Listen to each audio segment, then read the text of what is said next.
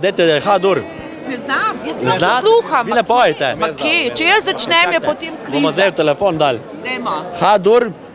okay. Evo, sam večkrat, daj klavir, tu imaš klavir. Klavir, evo. Ha, No, da slišam. daj stisni ha. Okay. Ti, ti, ti, ti, ti, ti, ti, ti, moja rožica, kraljica mojega, si srca mladega. Ti, ti, ti, ti, ti, ti, ti, ti, moja rožica.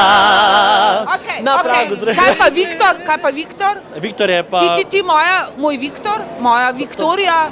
Oh? Ti, ti, ti, ti, moja zmaga. Vaša zmaga letos. Nismo še pripravljeni na to, tako da takoj po nagradi bomo spremenili besedilo. Mi smo pač vzeli stvari v svoje roke in pišemo zgodbo naprej, ne samo mi, tudi en kup drugih ansamblov. Ampak vsako stvar si treba zaslužiti. Um, je bilo tudi eno, bi rekel, mračno obdobje, ko se v tej muziki ni veliko dobrega dogajalo. Bili so pa zelo dobri začetki.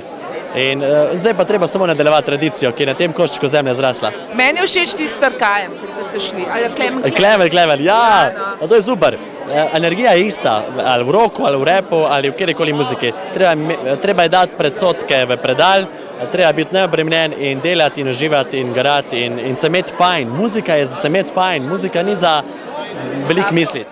Zdaj, ki padajo, Viktor, pa zvezde, pa tako.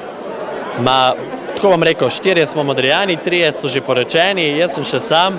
Punce so imele odnegde zelo, zelo rade um, muzikante. Rokerje in narodnjake, mogoče narodnjake bolj, ampak da se narodnjake niso hvalili, rokerji pa so se.